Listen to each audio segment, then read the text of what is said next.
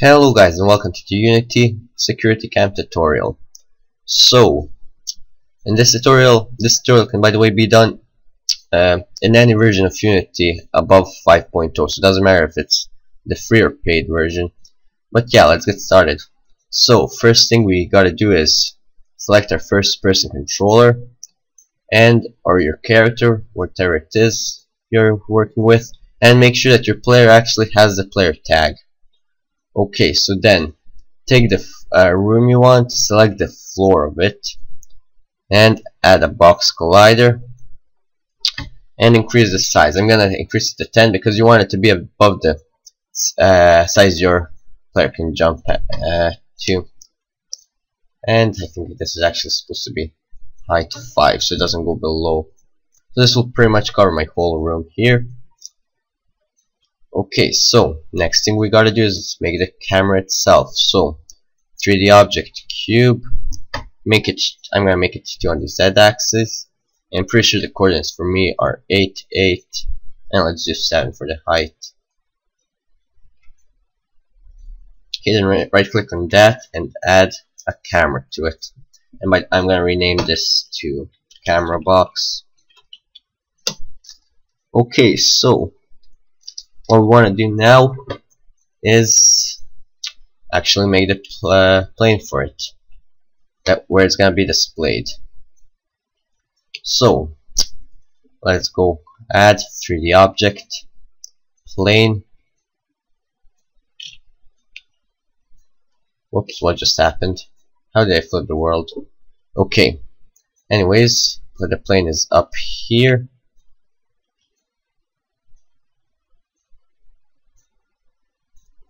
pretty much just want to rotate it like this so 90 degrees on the z axis.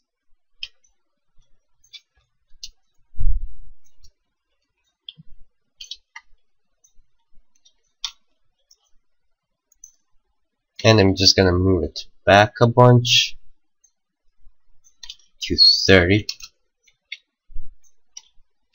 now uh, since most games work in the aspect ratio of 16 by 9 I'm just gonna scale this to 16 in height. Well actually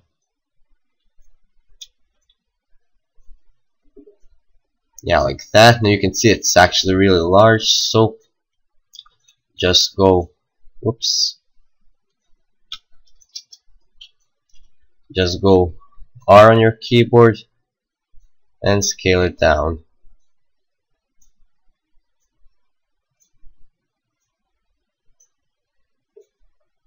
This should be about good, maybe even a bit smaller.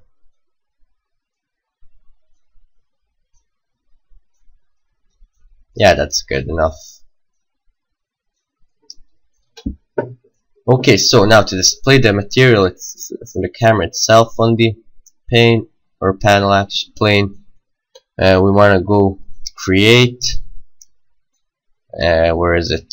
Render texture. I'm gonna just name it camera and create material also camera. Now what you want to set the material to is uh, go to legacy shaders diffuse and you want to apply this to it the camera render texture and just apply the material to this.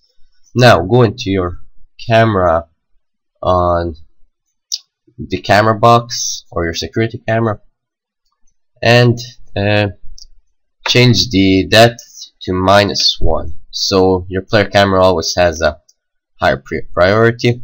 And in the target texture field drag your render texture. Now as you can see we're getting this but I think yeah it's actually flipped. So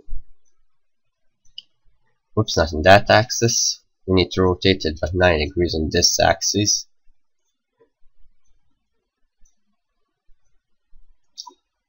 And I'm actually pretty sure if I just make this like one by one, yeah, it won't stretch out the image or anything like that. I'm pretty sure.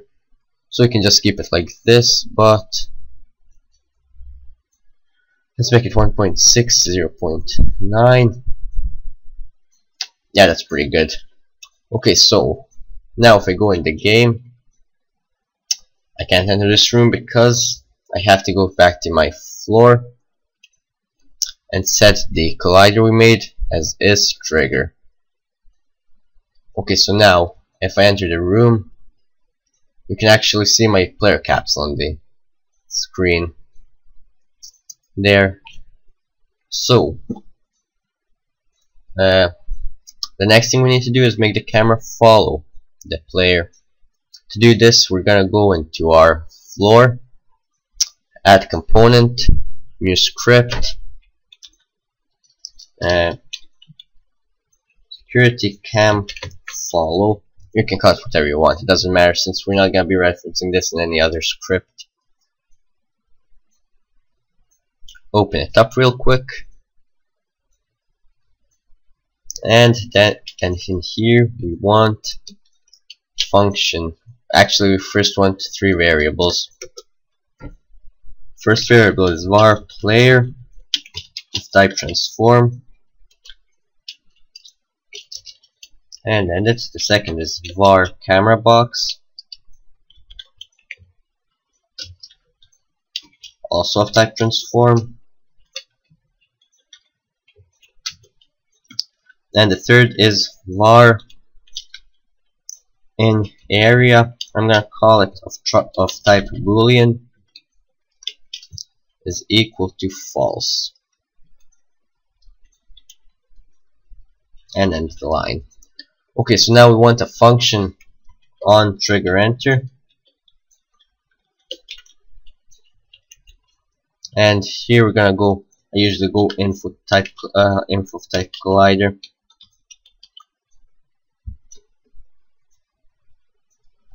Okay so now if info dot tag is equal to string player then what we want to happen is uh, in area is equal to true.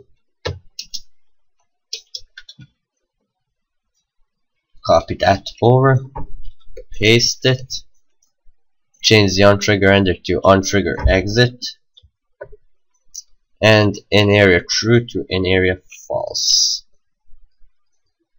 so now go to your function update. I'm just gonna copy this so uh, and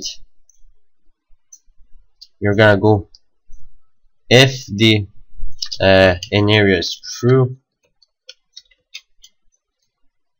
uh, what you want to do uh, what you want to happen is camera box dot look at player just like so unknown identifier player oh it's lowercase p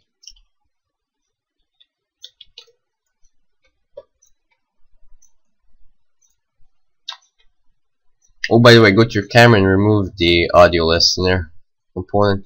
Okay, so now if we go to our floor, uh, you'll see in the script we have a player and camera box. Drag your player into the player and your camera box in the camera box.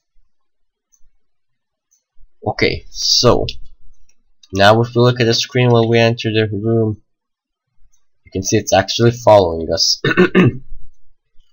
which is pretty cool. And if I exit it it stops following us. So yeah that's pretty much uh, it for this tutorial guys. Thanks for watching and I'll see you next time